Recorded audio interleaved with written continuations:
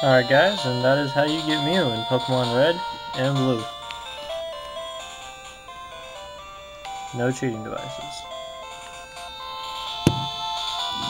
Peace out.